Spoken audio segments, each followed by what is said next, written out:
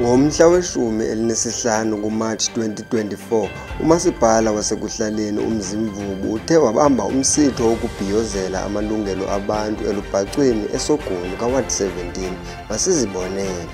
Singumasipala wasemzimvubu namhlanje silapha eWard 17 ngenjongo yoba sizocommemorata i-Human Rights Day.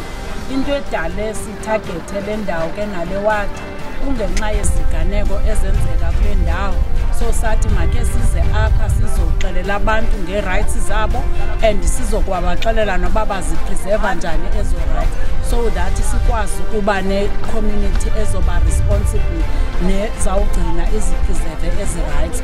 Abantu bahlale bakhuseleke and idignity yabo ihlonitshwe. Silapha ke sihambi sodwa singumasipala wasemzimvubu simbombelene kule ndawo sihamba nee-government departments.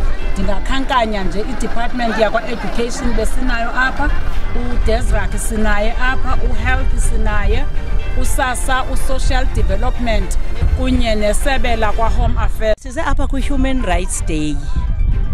Izikolo zasemzimvubu ebesizinikeza ikiti namhlanje ziyi-11 ikiti esibanikeze yona sibanikeze ngokokukhetha kwabo uba simnikeze umntu ikiti ye-netball yinto ebeyicelile. Uba simnikeze eyecricket yinto ebeyicelile. So silisebe likasport eh, arts and culture.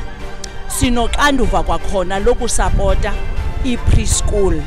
I-preschool ke apha sizinikile iitafile zokusebenzela nezinto zokudlala zabantwana ngoba wonke umntwana unelungelo lokufunda unelungelo lokudlala.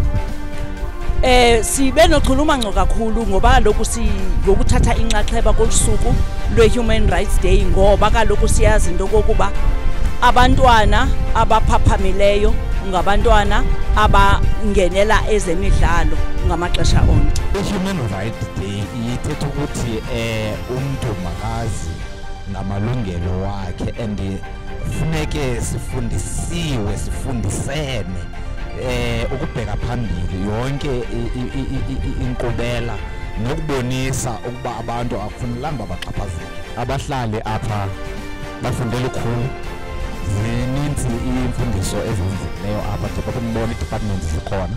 So luthetha lukhulu kakhulu olu suku kubantu balapha eward 17 namhlanje.